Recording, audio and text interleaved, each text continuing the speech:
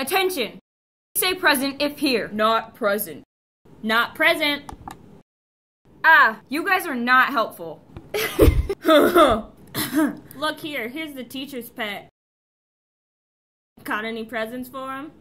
Ugh, and everyone's favorite. Yeah, I know. He loves broccoli and knuckle sandwiches.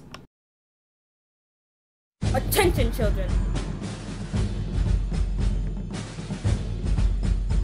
Today's schedule.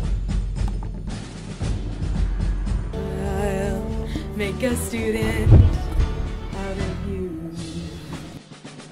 Must blast through all the notes, finish the mounds of homework. Teachers expect too much